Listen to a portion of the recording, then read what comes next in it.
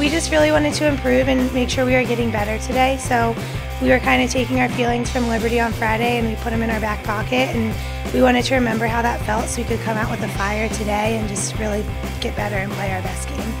What we worked on this week is we really talked about how communication needs to come together and it can't just come from one person or two people, it needs to come from everyone. Going into halftime, we just kept telling each other, don't relax. You know, we had a good lead, but we wanted to keep that lead and we didn't want to, the margin to get any closer. So we just said, keep scoring, keep getting the draws, and keep playing good defense.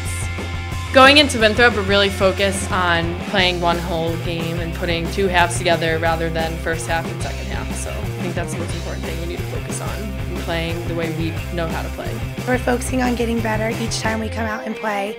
So Friday's senior day, it's going to be a big game for us, and we really just want to make sure we're putting forth our best effort.